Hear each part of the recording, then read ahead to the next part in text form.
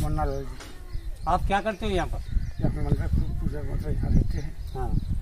और यहाँ जो है ये मंदिर बने हैं बहुत बढ़िया है। यहाँ से व्यवस्था बढ़िया है।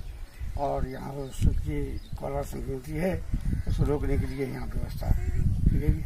आप किसी बात की परेशानी तो नहीं पुलिस प्रशासन से जैसे घाटों पे स्नान होता था आज चूने पड़े हुए हैं। कोई परेशानी नहीं है।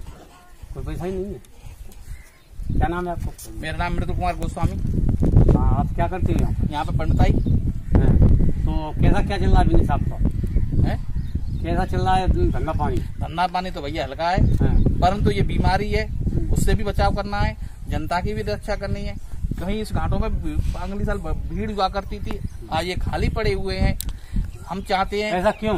क्योंकि ये कोरोना के मारे। क्योंकि प्रशासन ने भी यहाँ पे बहुत व्यवस्था की हुई है कोई लोग यहाँ आ नहीं पा रहे हैं। उनका मैं धन्यवाद करना चाहता हूँ प्रशासन का। क्यों आगे चल के ऐसी व्यवस्था बनाए जिससे कोरोना के मरीज़ कम हो और हमारी देश की जनता सुखी जीवन व्यतीत करे।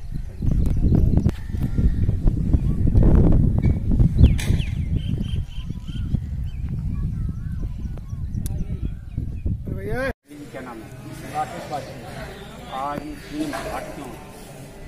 ऐसा कि कोविड 19 के चलते पूरे देश भर में लॉकडाउन है। उसकी वजह से भगवान शिव का ये मंदिर भी सरकार की गाइडलाइन से कोई भी धार्मिक स्थल धार्मिक आयोजन कोई भी नहीं होगा इसलिए मंदिर बंद है। तो इतनी सख्ती सर से दो सोमवार हो गए तो कुछ छूट मिली है इसमें श्रद्धालुओं के लिए? कोई छूट नहीं है श्रद्धालुओं के लिए क्योंकि अभी जो है ये बीमारी है वो अधिक से अधिक लोगों को हो रही है। संख्याएँ दिन पर दिन बढ़ रही हैं।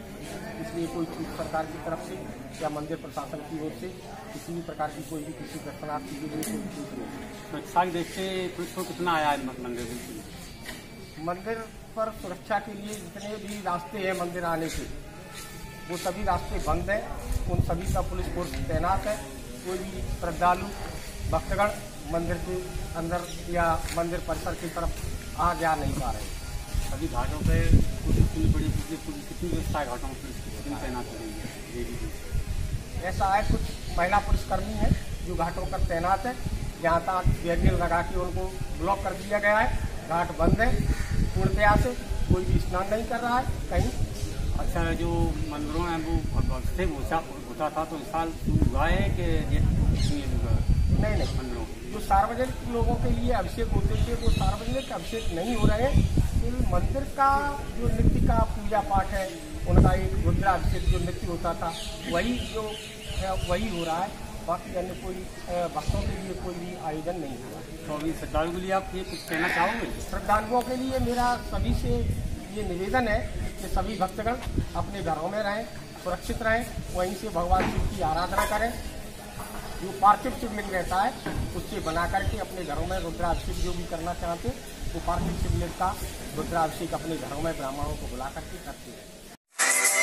जनवाद टाइम्स की सभी खबरों को लगातार देखने के लिए चैनल को लाइक, सब्सक्राइब और शेयर ज़रूर करें। धन्यवाद।